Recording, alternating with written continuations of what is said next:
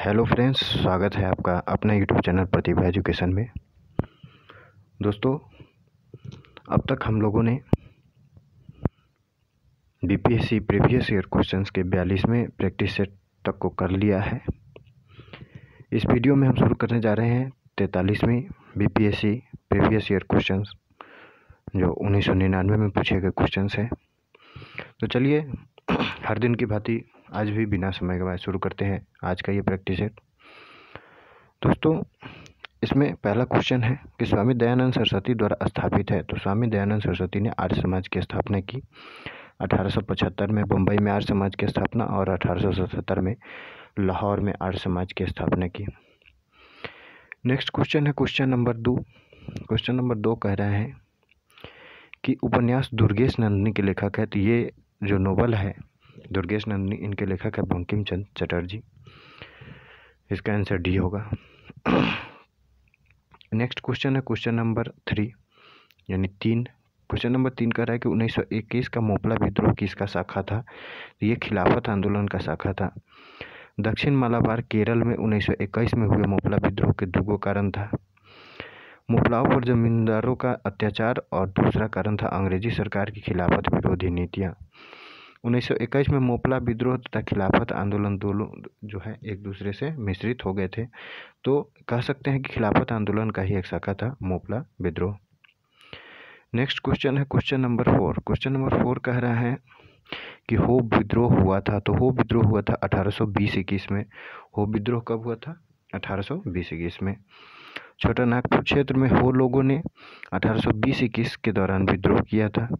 यह विद्रोह उन्होंने अपने राजा जगन्नाथ सिंह और कंपनी सरकार के विरुद्ध किया था। ठीक है मित्रों तो इसका आंसर सी है 1820-21 में। नेक्स्ट क्वेश्चन है question number five. Question number five कह रहा है कि महात्मा गांधी तथा उनके सहयोगियों की 1942 में हुई धरपकड़। जो कि 9 अगस्त 1942 के एकदम सुबह सुबह हुआ था धरपकड़ उसमें से बिहार में दंगे हुए।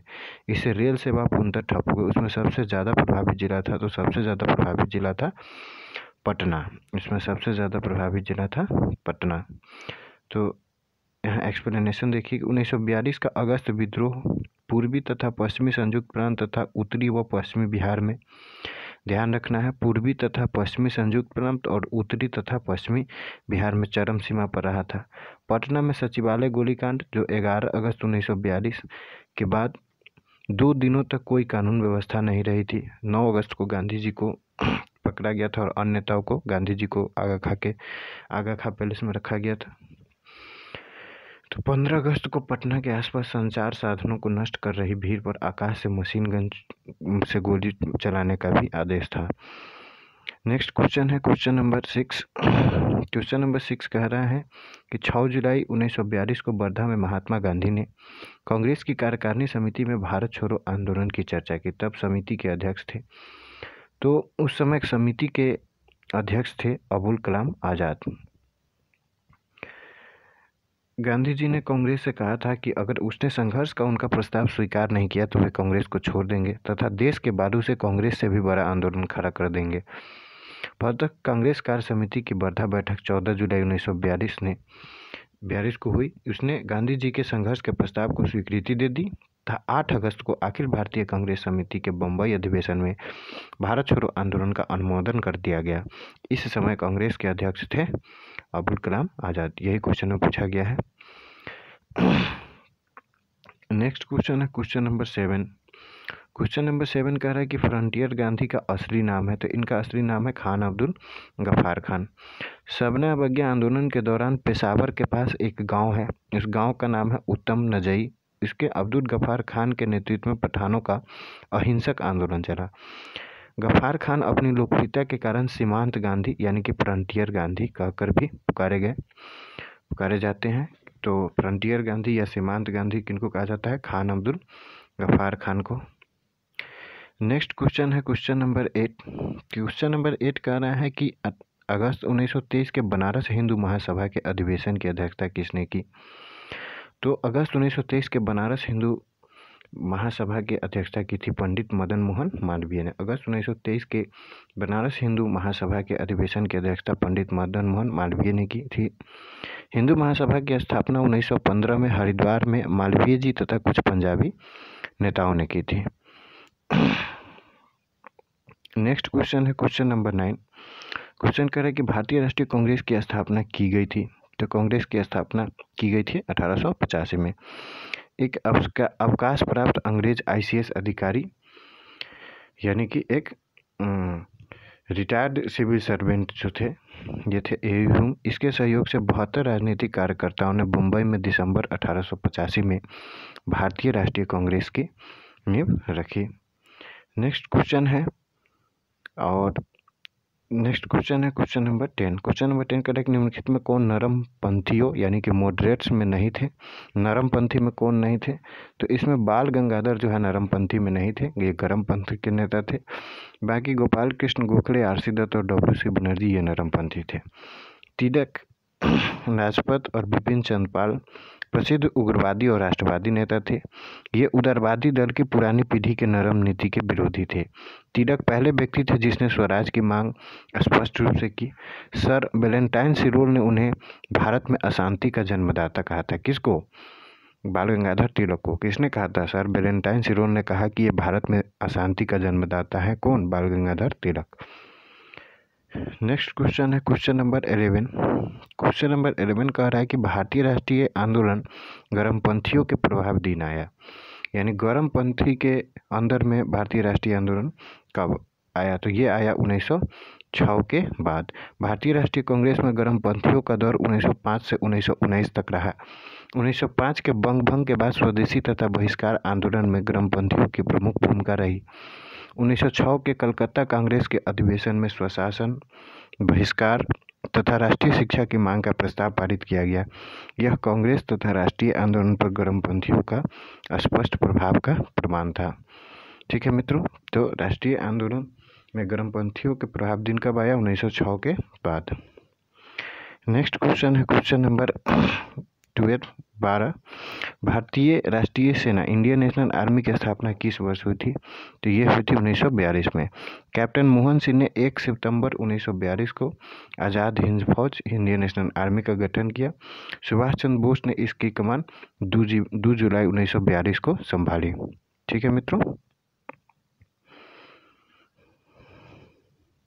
क्वेश्चन नंबर थर्टीन भारतीय राष्ट्रीय कांग्रेस के संस्थापक थे तो इसके संस्थापक एक असैनिक सेवक थे। एक अवकाश प्राप्त अंग्रेज़ आईसीएस अफसर ए ह्यूम के सहयोग से दिसंबर अठारह सौ पचासी में भारतीय राष्ट्रीय कांग्रेस की स्थापना हुई थी। नेक्स्ट क्वेश्चन है question number fourteen. Question number fourteen करा कि भगत सिंह सुखदेव और राजगुरु को फांसी दी गई। तो इनको फांसी दी गई तेईस मार्च 1931 को। लाहौर षडयंत्र और अन्य मामलों में भगत सिंह सुखदेव तथा राजगुरु को 23 मार्च 1931 को फांसी दी गई। नेक्स्ट क्वेश्चन है क्वेश्चन नंबर फिफ्टीन क्वेश्चन कर रहा है कि लंदन में जनरल डायल को किसने गोली मारी? तो ये मारी उधम सिंह ने। इसका आंसर डी होगा। उधम सिंह गदर आंदोलन के एक कार्यकर्ता थे। जारियावाला नाग बाग नरसंहार के बदला लेने के लिए उन्होंने जनरल डायल की हत्या ब्रिटेन में कर दी थी। नेक्स्ट क्वेश्चन है क्वेश्चन नंबर सिक्सटीन क्वेश्चन कह रहा है कि स्वराज पार्टी का गठन डोडट की असफलता के बाद हुआ। तो ये असहयोग आंदोलन के असफलता के बाद हुआ। असहयोग आंदोलन में गांधी जी ने एक वर्ष में स्वराज का नारा दिया था। आंदोलन की असफलता के बाद काउंसिल में प्रवेश के मुद्दे पर अपरिवर्तनवादी गुट गया। अधिवेशन 1922 के बाद कांग्रेस से अलग हो गया। मोतीलाल नेहरू और सी आर दास के नेतृत्व में स्वराज का पार्टी का गठन जो है, ये मार्च 1923 में किया गया। ठीक है मित्रों? नेक्स्ट क्वेश्चन है आईएनए की स्थापना हुई तो इसकी स्थापना हुई सिंगापुर में। मलाया सिंगापुर में कैप्टन मोहन सिंह के द्वारा 1 सितंबर 1942 को आज़ाद हिंद फौज यानी इंडियन नेशनल आर्मी की पहली डिवीज़न का गठन 16,300 सैनिकों को लेकर किया गया। ठीक है मित्रों? नेक्स्ट क्वेश्चन है question number eighteen Akhil Bharatiya खिलाफत सम्मेलन, जो कि उन्नीस सौ उन्नीस ईस्वी में हुआ, इसका अध्यक्ष किसे चुना गया? तो इसका अध्यक्ष चुना गया था महात्मा गांधी को। तुर्की के खलीफा के पक्ष में भारतीय मुसलमानों द्वारा उन्नीस सौ उन्नीस में खिलाफत आंदोलन शुरू किया गया और नवंबर उन्नीस सौ उन्नीस में गांधी जी अखिल भारतीय खिलाफत सम्मेलन के अध्यक्ष चुने गए। ठीक है मित्रों तो इसका आंसर ए होगा। नेक्स्ट क्वेश्चन है question number nineteen question number nineteen कह रहा है कि 1908 में बाल गंगाधर को तिलक कितने वर्ष की हुई?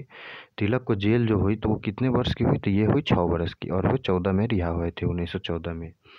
तो 1907 ईस्वी में सूरत अधिवेशन में उग्रवादी गुट को कांग्रेस से बाहर निकाल देने के बाद उग्रवादी आंदोलन कमज़ोर पड़ गया। किस लिए कमज़ोर पड़ गया? क्योंकि 1960 में तिलक को छः वर्षों की जेल हो गई। लाला लाजपत राय देश से निर्वासित हो गए तथा अरविंद घोष ने सक्रिय राजनीति से संन्यास ले लिया। इसलिए कुछ वर्षों के लिए जो है उग्रवादी आंदोलन कमज़ोर पड़ गया। नेक्स्ट क्वेश्चन है question number twenty. Question number twenty कह रहा है कि अधिकतर नरमपंथी नेता थे। क्या थे? अधिकतम नरमपंथी नेता जो है, शहरी क्षेत्रों से थे। न ग्रामीण क्षेत्रों से अधिकतम जो है, नरमपंथी नेता शहरी क्षेत्रों से थे।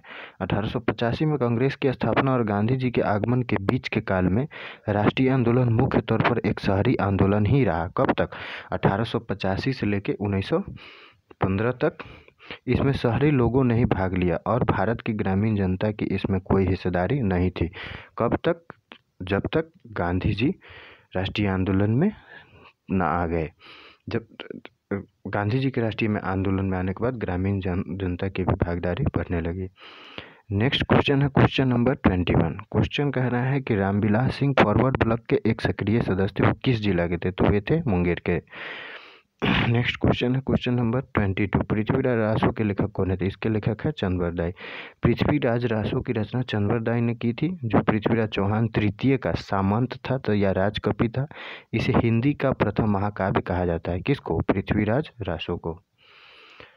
नेक्स्ट क्वेश्चन है question number twenty three question कह रहा है कि विजयनगर के शासक कृष्णदेव राय ने गोलकुंडा का युद्ध किस राजा के साथ लड़ा था?